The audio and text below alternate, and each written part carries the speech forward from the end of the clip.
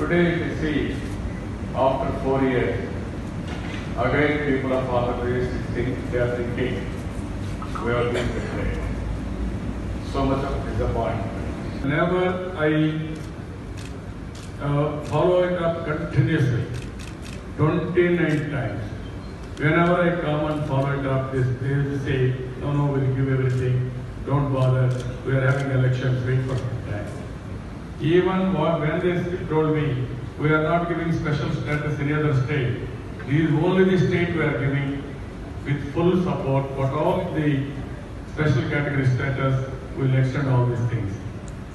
Again, EAP and special purpose vehicle, meanwhile, they extend all the facilities for other 14, 11 states. This is where I am asking now, even from the beginning, I requested them, today, after seeing budget, I demanded same facility, can't we extend ways? I am not asking any favor, I am not asking any wish list. I am asking, implement what you have promised. That is the responsibility they have to take. That is where we are demanding a special status.